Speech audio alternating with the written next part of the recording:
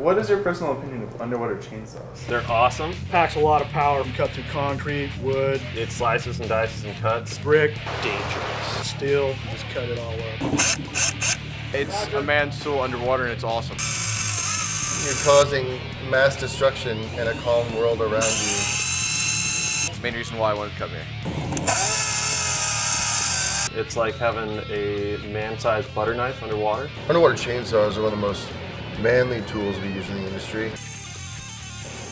I find that the times when my manly muscle tends to come out in the water is when I'm using an underwater chainsaw. Badass.